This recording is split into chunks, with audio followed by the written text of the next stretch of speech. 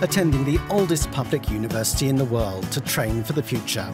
The Federico II University in Naples hosts the Developer Academy, where students learn to develop apps for iPhones.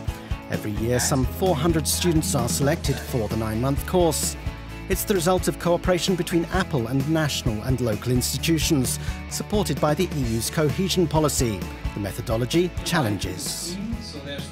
The main benefit of the challenge-based learning methodology that we are using here is that uh, they are actually working on real problems.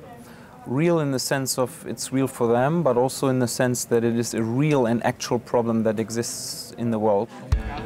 The apps range from gaming to medicine and services. The program combines coding and app design with an emphasis on the creativity and collaborative skills that students like Roberta will need in their future jobs. The way we work here is based on meeting challenges. We never have the perception of being a winner or a loser, as we're the ones who vote for the projects we like most, justifying our choices on realistic criteria. Teachers encourage students to take a collaborative approach, for example by solving technical issues through discussion. You just talk to people, do your own research, and just try to figure out what's the best for your group or for yourself, and see how that uh, would turn into an app or something. The students are mainly from Italy, but also around the world. The goal to attract people from a variety of backgrounds. Our challenge is to help people learning software development or app development in a less stressful way, in an easier way. One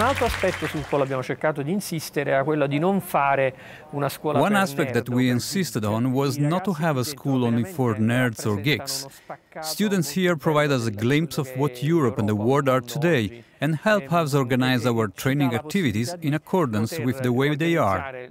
Le nostre attività di formazione per andare in un certo senso un po' più incontro a loro. Students acquire skills in designing, developing and configuring apps, but their personal development is just as important.